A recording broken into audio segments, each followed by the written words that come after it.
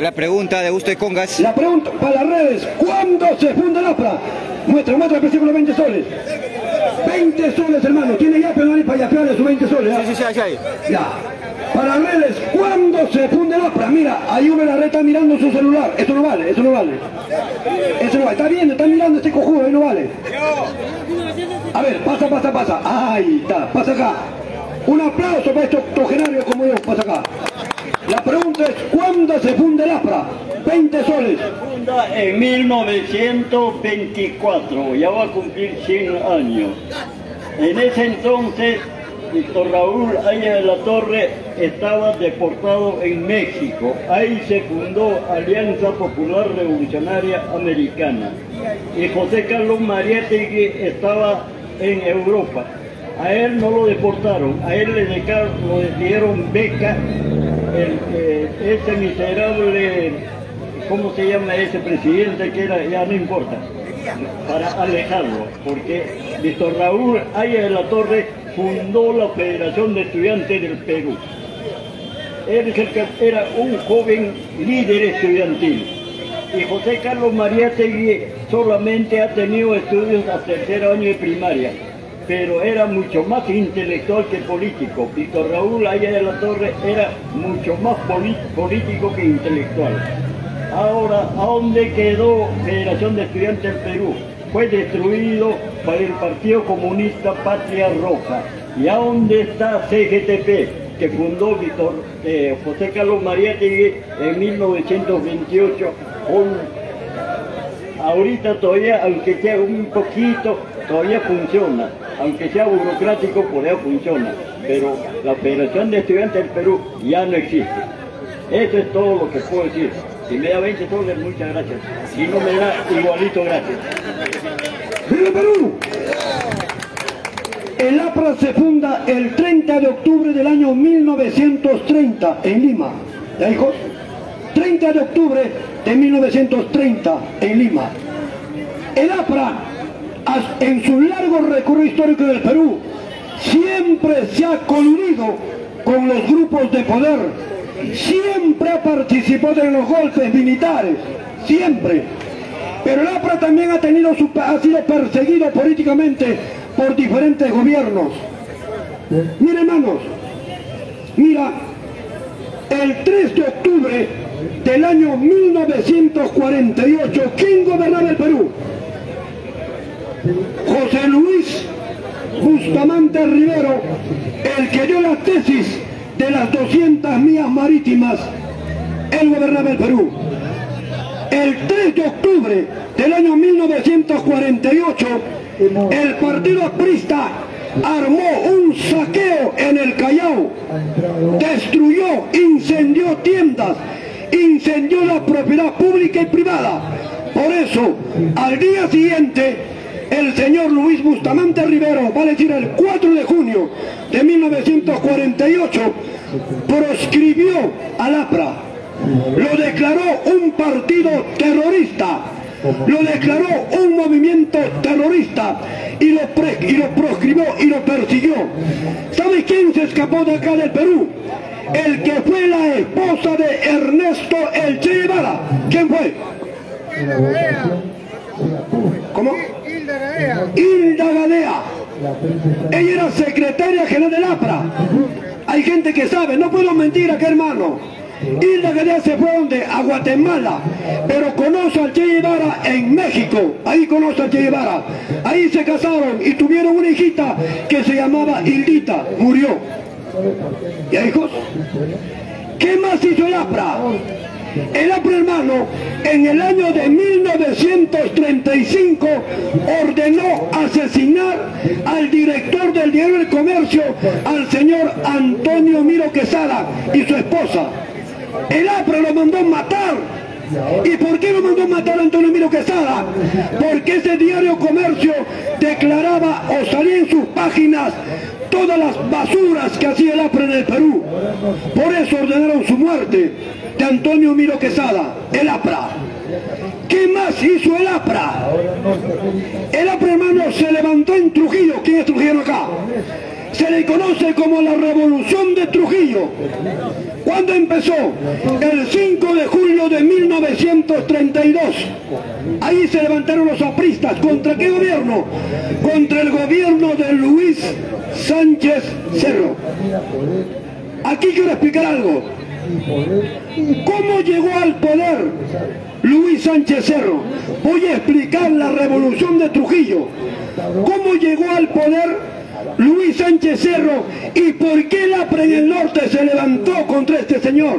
Mira, escuche tu hermano, el 17 de agosto del año 1930, 1930, Augusto Bernardino Leguía, que trabajaba estrechamente con el APRA, había regalado un territorio peruano a Colombia, Leticia, más de 127 mil kilómetros cuadrados, lo regaló a Colombia en el famoso tratado y oscuro tratado para el Perú, llamado Salomón, ¿qué Salomón?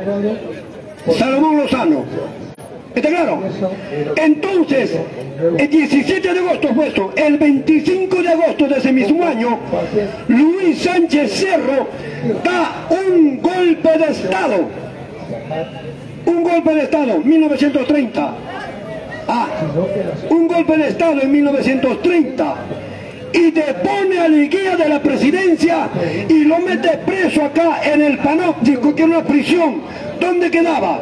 Donde está actualmente el Hotel Sheraton. Allí murió Leguía el 12 de febrero del año 1932. ¿Está claro?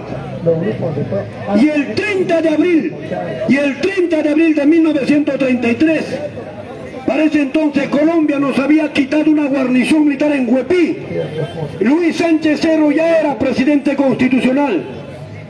Entonces, Luis Sánchez Cerro, el día 30 de abril de 1903, ese era campechano, era un nacionalista, Luis Sánchez Cerro, medía un metro sesenta y tres era general de división del ejército del Perú. Este señor, 30 de abril de 1933, 10 y 30 de la mañana, se encontraba pasando revista a 30 mil soldados para entrar en guerra con Colombia para recuperar Huepí.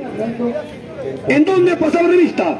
Aquí en el ex hipódromo de Santa Beatriz, hoy Campo de Marte. 10 y 30 de la mañana. Ahí apareció un maldito aprista. Le tenían bronca a Luis Sánchez Cerro. Apareció un maldito aprista llamado Abelardo Mendoza Leiva. Abelardo Mendoza Leiva le metió dos balazos a Luis Sánchez Cerro y lo mató el 30 de abril de 1933. Esa misma tarde, a las 2 y 30 de la tarde, el Congreso que estaba plagado de apristas, y una aprista estaba ahí, Agustín Aya de la Torre. Esa misma tarde el Congreso aprista proclamó presidente al general Oscar R. Benavides. Aprista. Lo nombró presidente del Perú. Pero para eso el pueblo loretano había recuperado Leticia. ¿Y qué hizo este señor? Este señor presidente del Perú colocado por el APRA, Oscar R. Benavides. ¿Qué hizo? Devolvió Leticia a Colombia el 15 de mayo. Llamó al presidente colombiano Pumarejo y le devolvió Leticia sin dar explicaciones al pueblo peruano. Eso es el APRA. Muy bien. La revolución de Trujillo empieza el 5 de julio de 1932. Ahí aparece el búfalo. ¿Cómo se llamaba el búfalo, Pache? ¿Cómo se llamaba? ¿Quién sabe el nombre del búfalo? Diez soles voy a pagar. Mejor ya no. ¿Sabe cómo se llamaba? Manuel Barreto Risco, el búfalo conocido como el búfalo Pacheco. Este Barreto Risco. Allá. Ya. Este búfalo dirigió el ataque al cuartel Donovan en Trujillo. Una masacre. Esta revolución levantada por APRA duró más o menos hasta el 19 de julio de ese mismo año. Hubo más de 10.000 muertos en total. Obligó al presidente Luis Sánchez Cerro bombardear Trujillo. Más de 10.000 muertos. Y estos tenían un gran resentimiento contra este señor Luis Sánchez Cerro. Por eso ordenaron a ese señor que tenía 27 años a velar Mendoza Leiva para asesinar a Luis Sánchez Cerro. ¿Qué más hizo el APRA? Recuerden ustedes, hermano, el 5 de junio del año 2009, ¿qué pasó? ¿Sabe qué pasó? El baguazo. ¿Quién gobernaba? Alan García Pérez. 5 de junio del año 2009. Masacraron a nuestros hermanos nativos en el lugar llamado Corral Quemado, ahí en Bagua Grande. Lo masacraron. ¿Y por qué masacraron a esa gente, a nuestros hermanos nativos? Porque reclamaron sus tierras. Porque Alan García quería vender sus tierras, quería consignar sus tierras, concesionar sus tierras a las grandes transnacionales. Y los nativos se levantaron en justa defensa de su hábitat natural masacre nativa.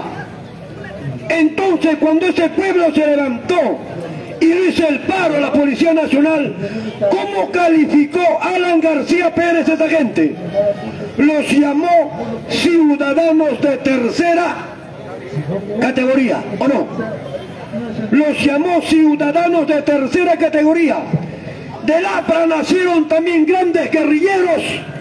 Luis Lafuente Uceda, Víctor Polay Campos. Estos señores también fundaron el MIR, Movimiento de Izquierda Revolucionario. Este organismo fue la que dio o dio pase para, para fundar después el Movimiento Revolucionario Tupac, el MRTA que lo fundó Víctor Polay Campos. Fue detenido y llevado preso, pero Alan García Pérez le construyó un túnel para escaparse, ¿o no? Muy bien. ¿Qué cosa más hizo Alan García con APRA? La masacre del frontón, Santa Bárbara, ¿o no? Ya. ¿Qué más hizo el APRA en su primer gobierno? Dejó al Perú en la completa ruina económica. Completa ruina económica a tal punto que el sol se devaluó y creó una moneda, ¿cómo se llama su moneda? Inti. Ahí todos éramos millonarios. En esos tiempos, hermanos, mi familia, mi papá, mi mamá no usaban billetera. Cada uno se compraba su mochila, porque un pan costaba 15 mil intis. ¿Recuerdan o no? Hay que saber qué partido va a participar. ¿Qué más hizo el APRA? El APRA, hermano, dejó al Perú en la ruina económica. Yo tenía una pandilla con mi papá acá en el Agustino. ¿Sabes a dónde íbamos a comer azúcar? Andahuasi, Aguacho. Ahí compramos azúcar porque acá no había, ¿o no? ¿Recuerdan las colas? Es que ustedes son jovencitos, pues hermano, no recuerdan. Esos tiempos que vino este Perú. No. Y Alan García fue acusado de corrupto. ¿A dónde se fue? A Francia. Allí vivió siete años, hermano, en una casa dorada. Esperó siete años, ¿para qué? Porque ese entonces el delito prescribía a los siete años y regresó como cuando Julio César ingresaba a Roma después de sus triunfos, no, en otros lugares. Y el pueblo lo eligió nuevamente como presidente del Perú y se volvió un corrupto, ¿o no? Bájalo. Se volvió un corrupto. Iba a ser condenado a 30 años de cárcel. Y como este es un cobarde miserable, su ego lo tenía muy elevado. Entonces, ¿qué hizo? Se suicidó. Este señor Alan García Pérez, yo estoy seguro que se suicidó. ¿Qué más hizo el APRA? El APRA vendió la isla de San Lorenzo, ¿o ¿O no? Vendió el APRA, vendió Leila San Lorenzo, ¿a quién? A los chilenos. ¿Y para qué lo vendió a los chilenos? Para que construyan casinos, restaurantes y prostíbulos. Y allí le van a entregar su parte a este ladrón de siete suelas, como lo llamó el señor Hugo Chávez. ¿Qué más hizo el APRA? Yo le tengo bronca al APRA. ¿Qué más hizo? vendió mi aeródromo de Coyique. ¿A quién lo vendió? A los chilenos. Y los chilenos que hicieron? Han, construido ahí, hermano, edificios que hoy lo alquilan, no lo venden, lo alquilan a los peruanos. Ahí está la lucha del pueblo peruano. ¡Viva el Perú! ¡Viva el Perú! ¿Qué más hizo el APRA? ¿Qué más hizo el APRA? El APRA, ¿quién conoce? ¿Quién conocía el cuartel a pólvora? El cuartel de pólvora también, ¿dónde estaba? En el Agustino, cerca del cementerio de Ángel. ¿Qué hizo el APRA con Alan García? Lo vendió. El APRA lo vendió. ¿A quién? A los chilenos. Lo vendió. ¿Recuerdan, hermano, el cuartel San Martín de Miraflores? ¿Recuerdan el cuartel San Martín de Miraflores? ¿Quién lo vendió? Lo vendió el APRA. ¿A quién lo vendió? A los chilenos. ¿Recuerdan estos penales de San Jorge? Ese ex penal está vendido. ¿Quién lo ha vendido? El aprismo. ¿A quién? A los chilenos. ¿Y por qué no construyen nada? Porque el pueblo protesta. El pueblo dice, en vez que se agarren los chilenos, ¿por qué no construyen ahí un mercado o no? Para el pueblo. Eso es el APRA, hermano. ¿Qué más hizo el APRA? El APRA también, hermano, quería vender el pentagonito, ¿recuerdan? El APRA quería vender el pentagonito. ¿Y por qué no lo vendió el pentagonito? Porque los habitantes del distrito de San Borja se lo prohibieron. ¡Viva Perú! Ah, esa es el APRA. Y el APRA, hermano, hoy en día ha sido inscrito en el Jurado Nacional de Elecciones. ¿Para qué? Para participar en las futuras elecciones. Pero están engañando a la juventud. Ellos dicen que el APRA, hay un lema que salió, dicen solamente el APRA salvará al Perú. ¿Es cierto, hermano? El APRA destruyó al Perú. El APRA destruyó al Perú. Te pregunto, hermano, ¿cuál es el lema del APRA? ¿Cuál es el logo del APRA? ¿Qué cosa dice?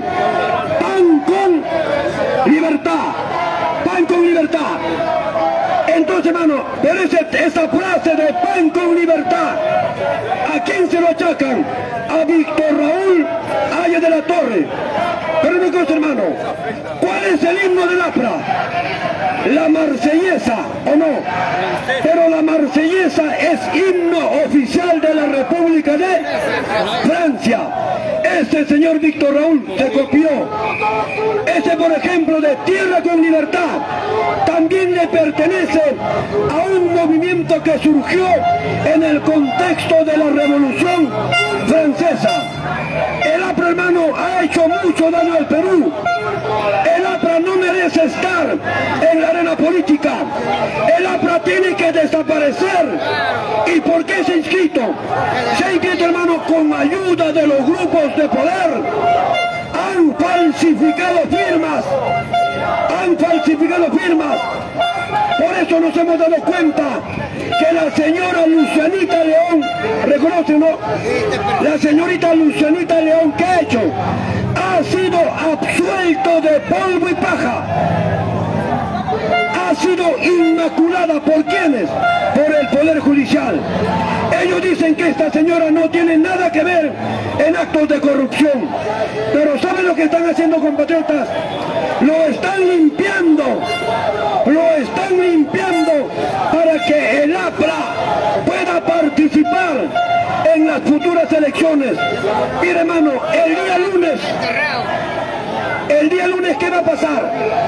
El día lunes ha ordenado la Fiscalía de la Nación para intervenir la vivienda de la señora Keiko Fujimori. O sé que lo han avisado. ¿Qué han dicho?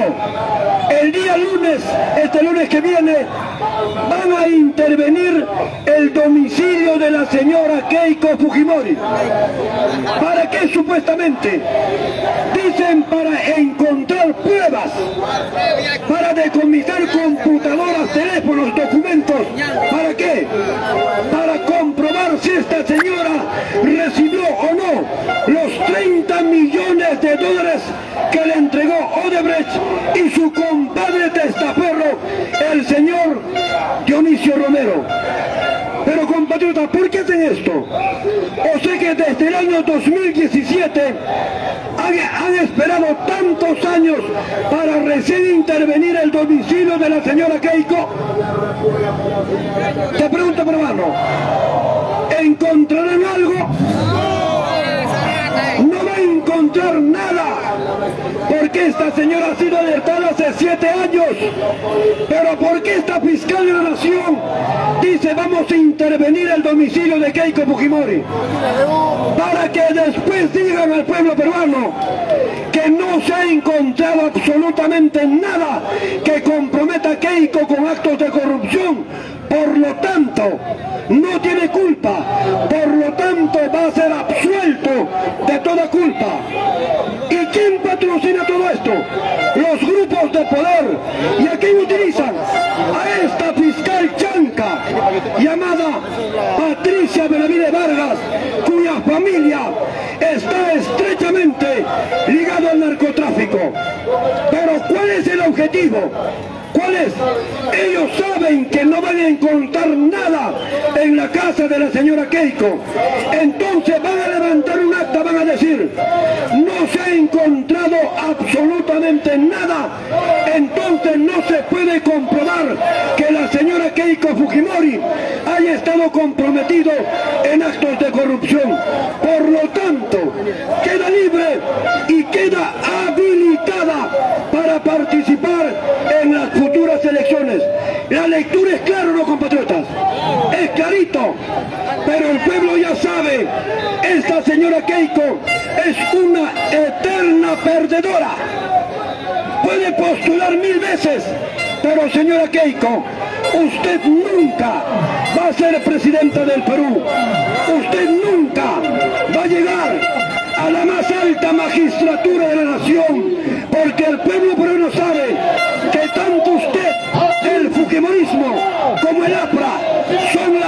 porquería que ha hecho tanto daño al Perú. ¿Es cierto o no, compatriotas? Por lo tanto, la señora Keiko seguramente en los próximos meses va a ser declarado limpio de todo de polvo y paja. Entonces, hermano, vuelvo a repetir, como dije inicialmente, la derecha se está reacomodando. La derecha está buscando su espacio político. La derecha se ha unido todos. ¿Para Para tratar de detentar el poder en las próximas elecciones generales. Pero el pueblo ya está alerta. El pueblo peruano ya sabe, señores apristas, señor Jorge del Castillo, tremendo delincuente, carajo. Mulder, Kesken, la señora Meche Cabanillas, ella es la responsable de la masacre de Bagua junto a quién? A Mercedes Arau, ¿se recuerdan? Ya, los culpables, nunca lo juzgaron o lo juzgaron, nunca lo juzgaron, ¿por qué? Porque son parte de esa derecha criminal, porque son parte de esa derecha golpista, porque son parte de esa derecha que en contubernio con las grandes transnacionales, hermanos, saquean brutalmente este país. ¡Viva Perú! Entonces, pueblo peruano, ya estamos alertados. Alertados. La mafia del Fujimorismo, la mafia del aprismo, van a ser habilitados para que puedan postular al Congreso o tratar de tentar la presencia de la República. Esto va para mis hermanos altoandinos, para la macro región sur, para nuestros hermanos aymaras, para nuestros hermanos quechuas, para las 47 etnias de nuestra Amazonía. El APRA, esa organización criminal, ha vuelto a inscribirse para participar en las futuras elecciones y van a ir de la mano con la señora Keiko Fujimori. Hermanos, pero ¿saben quién está financiando esto? ¿Cómo se llama el dueño de las minas en el Perú? Roque Benavides. Roque Benavides está financiando al APRA. Porque este señor es aprista o no. Roque Benavides es un terrible aprista. Igual que el banquero llamado Dionisio Romero. Compatriotas, tenemos que estar alerta.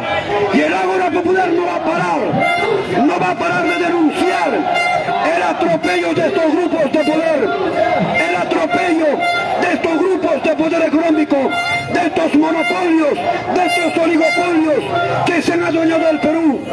No solo ellos, hermano, han entrado en arreglo bajo la mesa con las grandes transnacionales para explotar este país. Hoy en la mañana les cuento lo que me ha pasado, hermano. Estaba vendiendo mi, flauta, ¿sabe dónde? En Tawa. ¿Qué conoce Tawa? suyo.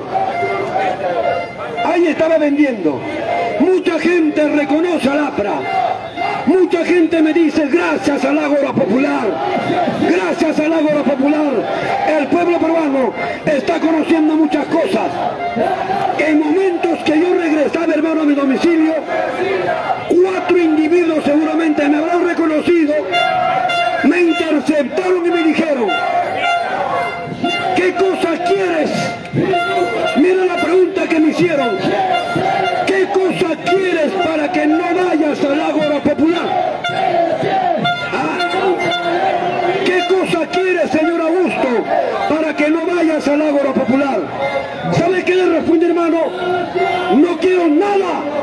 Solamente quiero recuperar la libertad de este país. Solamente quiero que este Perú sea dueño de sus recursos naturales. Solamente quiero que este Perú recupere lo que el fujiaprismo lo ha rematado a la estrena. ¿Sabe qué hicieron, hermano?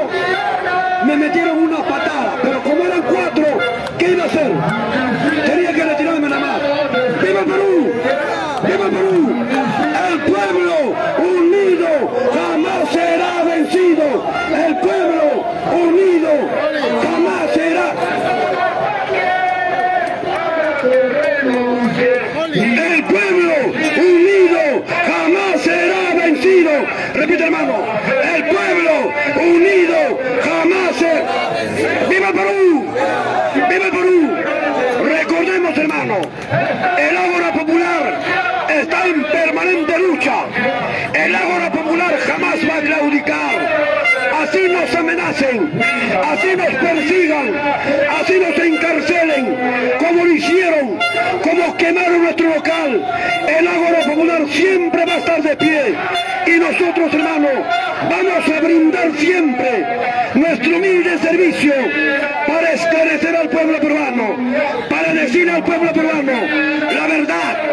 La verdad no va a ser libre, solamente la verdad y solamente la verdad va a ser libre, soberano e independiente a este hermoso país llamado Perú. Nunca olvidemos, hermanos, nosotros somos descendientes de una poderosa civilización, el imperio de los incas. Nunca olvidemos que somos descendientes de grandes guerreros, descendientes de Manco Inca, de Tito Cusiyupanqui, de Carajo de José Gabriel Condorcanqui, de Juan Santos Atahualpa, de los hermanos Angulo del Cusco, de Tupac Kateri en Alto Perú, de Tomás Atito de De María Parada de Bellido y la Aymara Bartolina Sisa. ¡Viva el Perú! Hermano, nunca te sientas menos. Yo soy alto andino y como alto andino no tengo ningún complejo. Al contrario, hermano, soy soberano, soy libre. A veces me siento poderoso. ¿Por qué? Porque tengo identidad. Porque el que tiene identidad sabe quién es,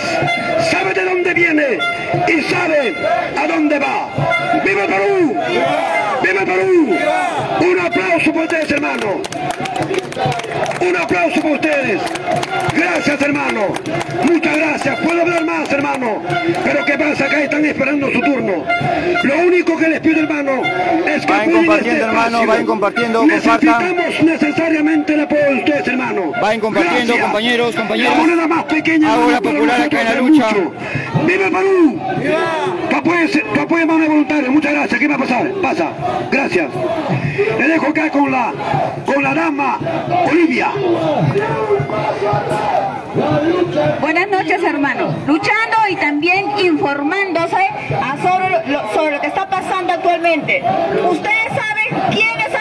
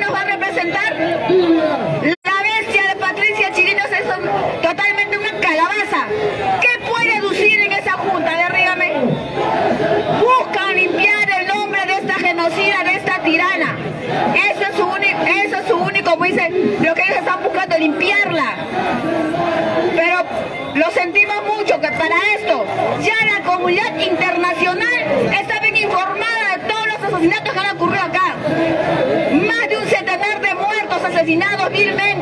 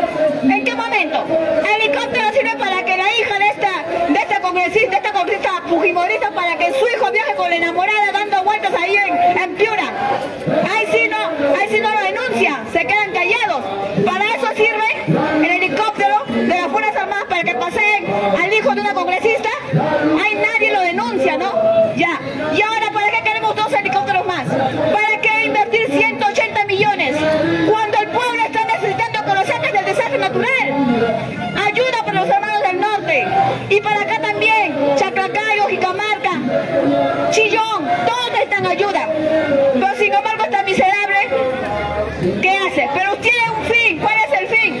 La corrupción. Porque ellos saben que comprando, comprando sus helicópteros van a recibir, comienza su pedazo de torta. Esas, ya hasta las licitaciones están hechas. Pero ellos, claro, nunca van a anteponer la necesidad del pueblo, jamás. Primero te pago el favor, favor con favor se paga, ¿no es cierto? ¿Qué cree que nosotros somos tontos? No, porque nosotros ya nos dejamos llevar por esta prensa, por esta prensa basura, mermelera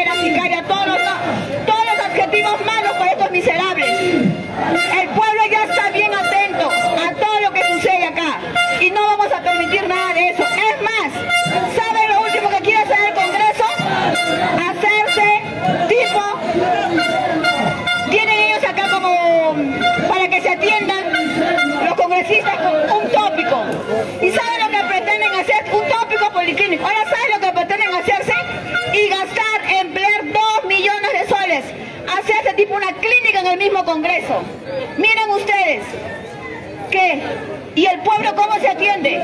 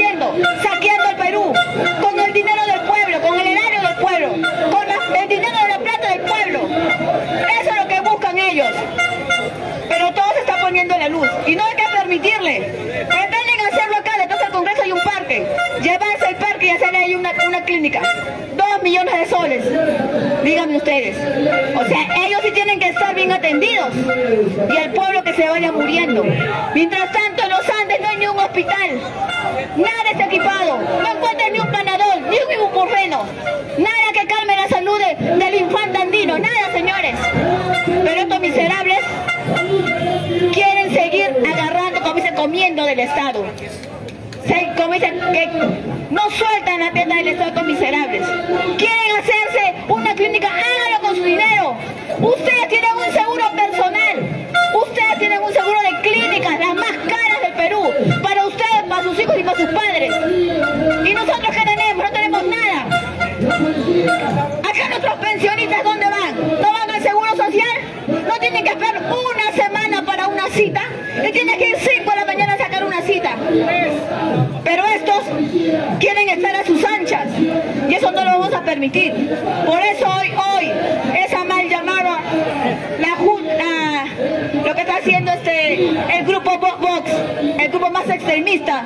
Son este, la gente, como dice, más radical. Esa gente es clasista, discriminadora, discrimina al latino, peruano, ecuatoriano, el que vaya allá, mexicano.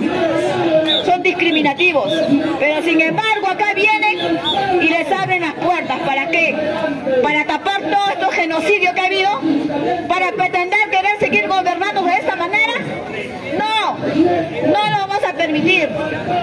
Por eso digo yo, que es fácil decirse a la Molina, ¿no? Vayan pues, vayan allá a San Juan Urigancho, vayan a ensuciarse los zapatos a Vía Salvador, vayan a Jicamarca, ahí al fondo, al valle, ahí los quiero ver miserables, como siempre pretendiendo lo mejor, lo mejor para ellos y lo han para el pueblo. Y eso ya no se debe permitir, hermanos. Bueno, eso es todo por hoy, porque mucha bulla. Buenas noches con ustedes, el hermano Julio. Sí, hermanos. Mira, hermanos, noticia de último minuto de este Congreso Basura.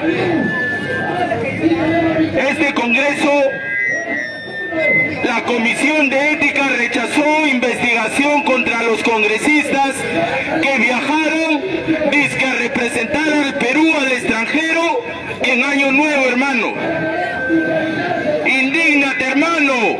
Indígnate como estos miserables a costa del pueblo peruano han viajado a celebrar su Año Nuevo.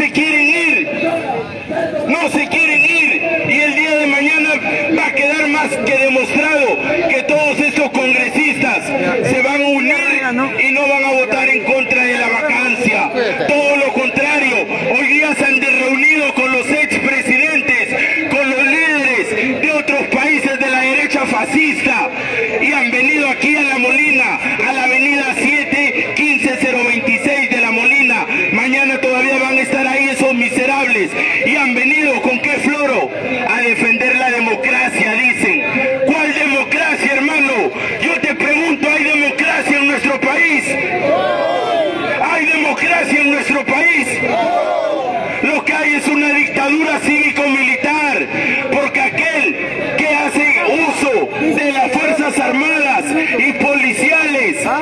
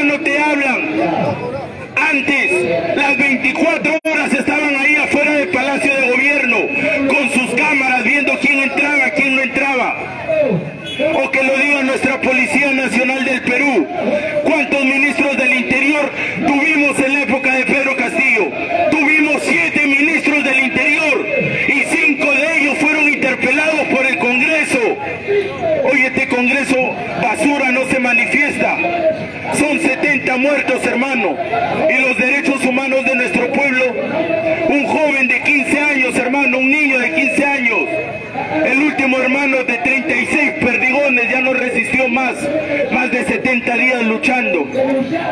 Y sale el señor Otárola a decir que él no sabía de las muertes.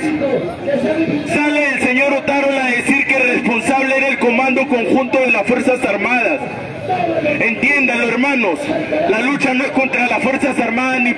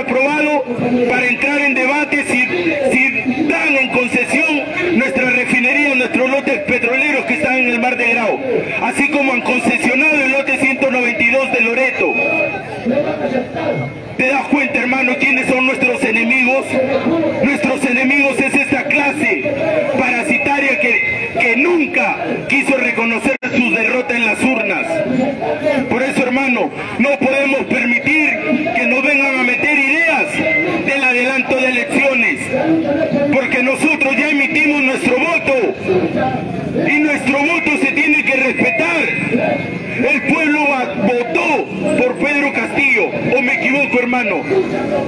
¿Y qué pasó? El 20 de julio recién le dieron sus credenciales para que Pedro Castillo juramente con- como presidente. Hoy, hoy llaman la derecha bruta y achorada,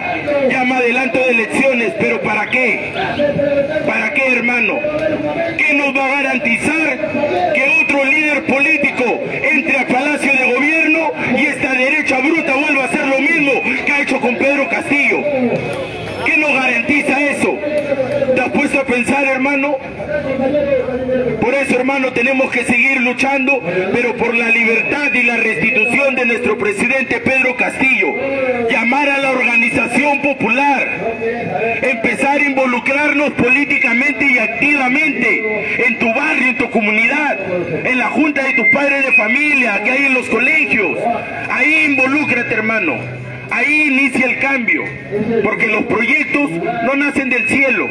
Uno, como poblador, tiene que exigirle a las autoridades de turno que ejecuten obras. Y cuando te hagan una obra, tú no tienes que estar aplaudiendo como foca, porque a ti no te están haciendo un favor, es un derecho que te corresponde. Mira, ¿por qué destinan dos millones para hacerse un policlínico privado para estos miserables que ganan 30 mil soles al mes, 14 sueldos al año, tienen viáticos, viajan con plata del Estado y todavía quieren policlínico? Y atrás del Congreso de la República hay una posta médica que ni siquiera tiene un laboratorio donde, donde guardar las muestras de exámenes de sangre y así demás, hermano. De orina. Así estamos en nuestro país. No hay dinero, no hay dinero para el norte, no hay dinero para enfrentar los desastres naturales, pero sí hay dinero para comprar dos helicópteros. Sí hay dinero, más de 40 millones para comprar tanques antimotines. ¿Te has puesto a pensar por qué lo hacen?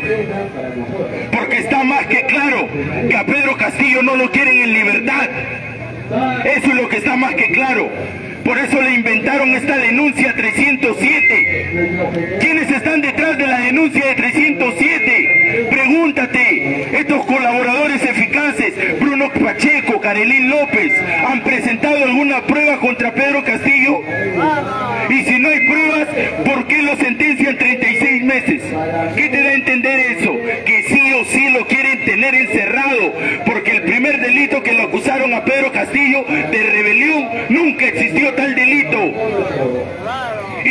Contrario, hicieron una vacancia ilegal, porque nunca llegaron a los 104 votos que se requería para vacar a Pedro Castillo. Y está más que claro que internacionalmente la libertad de Pedro Castillo está a la vuelta de la esquina, pero este grupo de poder económico no lo quiere. No quiere que sea así. ¿Y por qué no quiere que sea así? Para seguir haciendo lo que siempre por más de tres décadas han hecho. Robar y saquear nuestra soberanía nacional, hermano. Y eso les duele que les digamos la verdad, hermano. Por eso que tenemos que seguir luchando, hermano. Tenemos que seguir luchando porque la única manera de garantizar una Asamblea Nacional Constituyente es logrando la restitución de Pedro Castillo. Si no, es en vano porque la derecha, el fujimorismo, renovación popular y toda esa, esa cloaca, esos políticos vendepatria, jamás lo harán, hermano. Jamás lo harán seguirá, seguirán privatizando el derecho a la educación, el derecho a la salud y nosotros seguiremos mendigando derechos y nos seguirán tratando como inquilinos en nuestra propia patria, hermano. Así que tenemos que seguir luchando y estar a las expectativas. La información es libre. Ingresa al peruano.p o, o al portal del Congreso o al portal de la presidencia y ahí te das cuenta de todas, de todas las jugadas que estos miserables hacen a espaldas del pueblo y amparado por una prensa maliciosa, una prensa sicaria y mercenaria que solo está al servicio de los intereses de los de arriba, hermano. Tenemos que seguir luchando y hasta la victoria siempre, hermano. ¡Viva el Perú! ¡Viva el Perú! Así es, hermano. Muchas gracias, hermano. Mira, tengo un producto golosinario, hermano. De esta manera también me autogestiono, me auto me sirve para seguir luchando, hermano. Muchas gracias y seguimos en la lucha. Hermano, buenas noches. Recordarles, por favor, que el día 15 de abril tenemos nuestra actividad profundo para el agua popular. Va a ser una frejolada. Girón Cayoma 824. El precio es de 15 soles y el que desea puede seguir separando. De acá le damos su, su tarjeta de separación o su cancelación. Gracias. Eso es todo por el agua popular. Hasta mañana. Listo, listo. Muchas gracias. Los que desean pueden colaborar. Ahí está. No se olviden la, la actividad, hermanos. Muchas, muchas, muchas gracias. Quiero mandar saludos a Veneranda Castillo, allá en Italia, Luis Humberto, Pedro Jiménez, también allá en Madrid, España, Lucio en Chile, Francisco Calero en Estados Unidos, Mercedes Carrasco, Martínez también. Listo, listo hermanos. Muchas, muchas gracias a todos, al conocido Pedro Gómez también. Un abrazo a todos los hermanos allá en Chile. Dumas Dulce, todo el equipo ahí, humano, a Gorenza, allá en Santiago de Chile. Un abrazo, compañeros. A la, a la hermana Margarita Torres, también ahí en Canadá. Un abrazo. Italia, Suecia, Luz Micaela Espinosa, Suecia también. Betty Lola, en Italia. Ah, también a Nila, Nila y Esther Romero en Italia, Lucía Maima también, Jorge Alfonso en España, a todos ellos, Flavia Vallejo en Francia, Lucia Alvites también en España, un abrazo hermana, a Ruth Alda en Estados Unidos, Gregorio Vargas en Japón, ya, nos estamos viendo, estamos en contacto, muchas gracias el día de hoy, como ven está la policía acá cerca, vamos a tener mucho cuidado, vayan compartiendo a, a, lo que son nuevos, suscríbanse al canal y compartan, gracias, gracias.